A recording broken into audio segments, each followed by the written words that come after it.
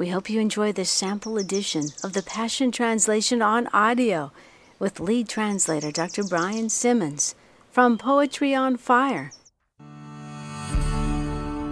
Psalm 19 God's Witnesses. For the pure and shining one, a poem of praise by King David, his loving servant. God's story in the skies. God's splendor is a tale that is told his testament is written in the stars. Space itself speaks his story every day through the marvels of the heavens.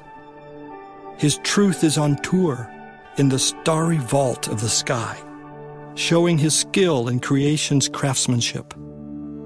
Each day gushes out its message to the next, night with night, whispering its knowledge to all. Without a sound, without a word, without a voice being heard, yet all the world can see its story. Everywhere its gospel is clearly read so all may know. What a heavenly home God has set for the sun, shining in the superdome of the sky.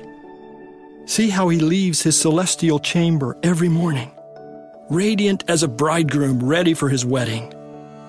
Like a day breaking champion eager to run his course he rises on one horizon, completing his circuit on the other, warming lives and lands with his heat.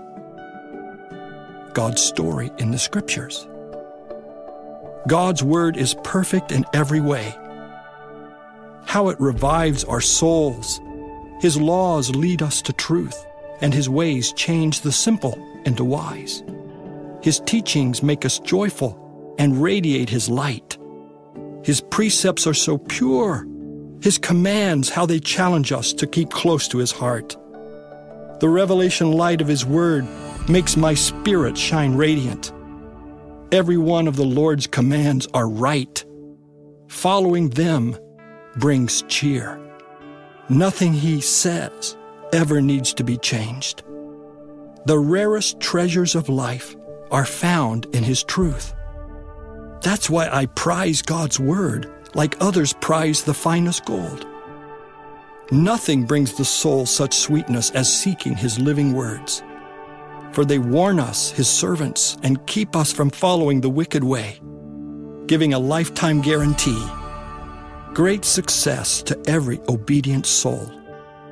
Without this revelation light, how would I ever detect the waywardness of my heart? Lord, Forgive my hidden flaws whenever you find them. Keep cleansing me, God.